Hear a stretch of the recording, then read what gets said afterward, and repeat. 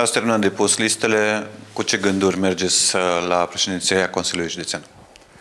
Cu gândul de a avea un rezultat foarte bun, pentru că sălăjenii merită o schimbare. Schimbarea nu se poate face decât prin noi, prin PNCCD, cu niște oameni care o să-i vedeți pe liste și, în ultimul rând, candidații la primăria Zalău, domnul Mureșan Alexandru, un profesor care n-am vrut să-l mai, să mai prezint, că s-a prezentat dânsul prin tot ceea ce a făcut dânsul. Este un om harnic, un om corect, un om perseverent, un om care a lăsat urme pe unii umblat în tot ce a însemnat învățământul sălăjean. Primele trei cele mai importante obiective pe care le aveți ca și președinte de Consiliul Județean. Cred că ce lipsește sălajului, și nu au avut parte de așa ceva după 90 de 30 de ani, îi lipsește bunăstarea. Și cred că atât eu cât și colegul, candidatul la primăria Zalău, domnul Mureșan, am demonstrat, alții tot spun că fapte, nu vorbe, noi am făcut. Rămâne doar să implementăm și la nivel de administrație publică, atât la nivel Consiliului Județean, cât la uh, primăria Zalău. Nefăcând aceste lucruri în cel mai scurt timp, cred că sălajul se desfințează, din punct de vedere economic, spun. Pentru că satele sălăjene îs părăsite de toți acei tineri, acea forță de muncă sănătoasă care au plecat de la sat la oraș, de la oraș spre Cluj, un oraș mai mare, și nu în ultimul rând în străinătate. Este cea mai mare pierdere pentru un județ, pentru țară, când resursa umană de bună calitate, sănătoasă și dornică de muncă părăsește țara. Eu sper că prin tot ceea ce vom face, a aduce bunăstare înseamnă să-i aducem la ă, să-i, să se întoarcă acasă și să muncim în sălajul nostru și în România noastră pentru a o dezvolta România, sălajul și nu alte țări. Deci înțeleg prin ceea ce a spus mai înainte, atacând oarecum uh, sloganul contra candidaților uh, și prin ceea ce ați explicat, că nu doar de o parte, cât și de cealaltă, dumneavoastră o să faceți acest lucru atunci când împreună cu echipa veți ajunge acolo. Este un lucru care l-am demonstrat până acum că am făcut. Ei vreau să reclădească. Pentru ei da. Pentru gașca lor da. Dar nu pentru sălaj, nu pentru țară. Ei vorbesc de fapte. Faptele noi le vedem. Atâta timp cât uh, puterea economică a județului, a municipiului scade, clar că de la puterea economică începe totul. Iar pe acești oameni nu i-am auzit niciodată nici pe unul să vorbească de bunăstare și o, de, o dezvoltare economică pe orizontală. Nu vreau să fac uh, reclamă unor companii, dar companiile când se dezvoltă, ele nu pot să trăiască, să funcționeze dacă nu se dezvoltă orizontală. Iar orizontalul la noi lipsește cu desăvârșire, adică orașe mai mici, comune, unde ar trebui să fie locuri de muncă și viață economică, așa cum o spun eu. O localitate, un oraș fără locuri de muncă dispare.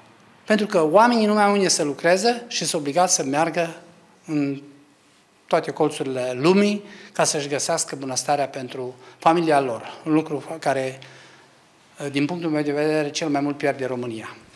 Cum aveți de gând să creați locuri de muncă în sălaj pentru sălăje? Eu zic că nu e simplu, dar în primul rând sectorul privat are mare nevoie de forță de muncă. Dar atâta timp cât statul este cel mai mare concurent al uh, României, pentru că la ei, dacă se anunță un post de o meserie oarecare, nu dau nume, la ei stau 20 la rând. În schimb, la sectorul privat, nu. Și asta tocmai pentru că sectorul privat este foarte dezavantajat, în schimb, uh, sectorul de stat e avantajat, după cum bine știm cu toții. Vreau să-mi spuneți câteva nume de pe lista de consilieri județeni și ce îi recomandă pe aceștia să fie acolo. Vă spun doar câteva nume, îi recomandă faptele lor. Îl dau un exemplu pe Nicolae Joldoș, Nicu Joldoș, proiectant, un om extraordinar. Îl cunoaște tot județul. E unul dintre cei mai buni proiectanți. Prodan uh, Onuț, al doilea.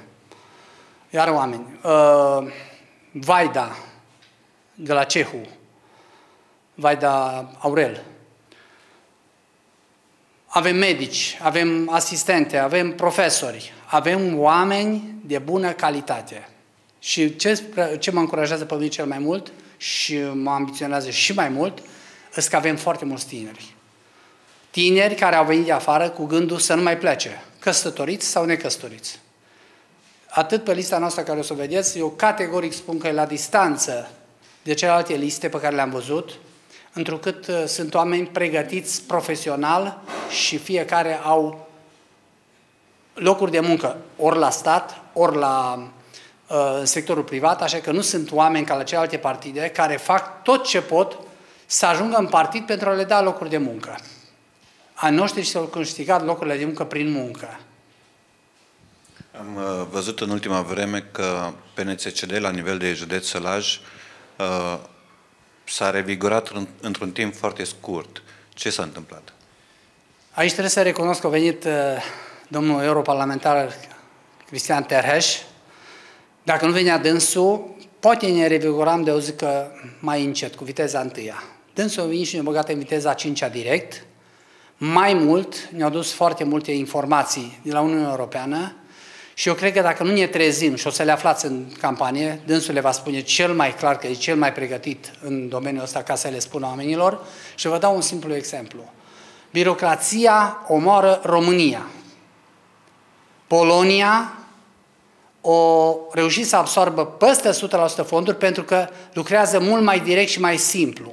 Dar nouă ne trebuie atâta hârțogărie până tinerii și cei care vreau să facă ceva să lasă să lasă păgubiți sau să lasă de a mai continua să, să reușească să uh, își facă un proiect pentru ceva.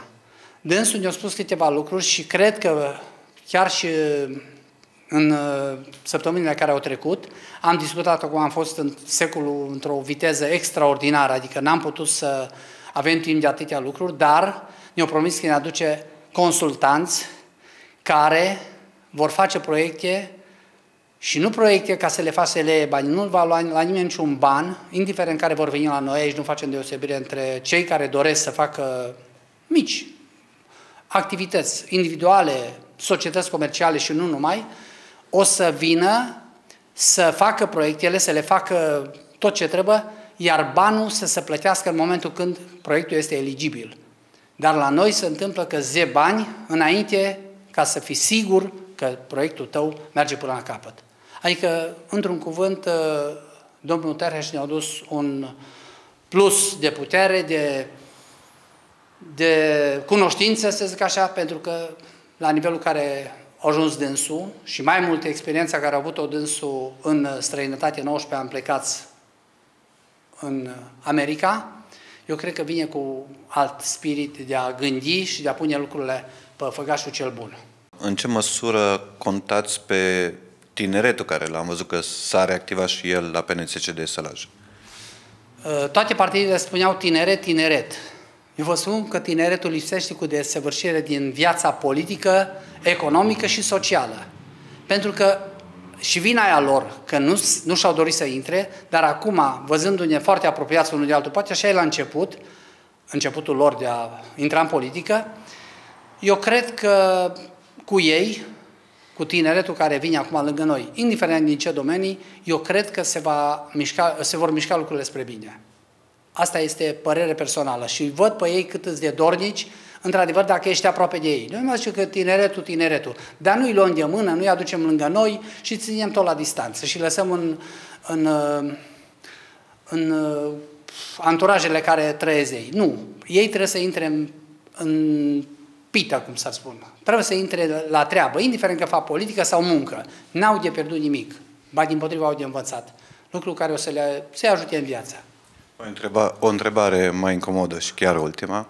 Uh, știu că ați depus acum aproape de 12 noaptea candidatura. Câți consilieri credeți că o să scoateți? În jur de 80 de consilieri locali, municipali și județeni. În completare, în uh, câte comune credeți că o să aveți primari? În minim 5 comune. Mulțumesc. Succes! Mulțumesc!